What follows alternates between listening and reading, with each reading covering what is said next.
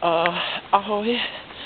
Uh, je strašná zima, začalo sněžit a chtěl jsem vám říct jednu krásnou věc.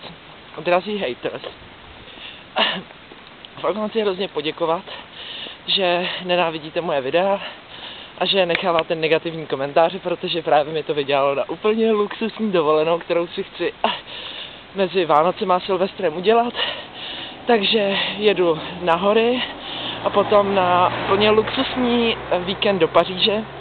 Takže vám chci hrozně poděkovat, mám vás všechny moc rád, děkuju a mějte se fajn, čau.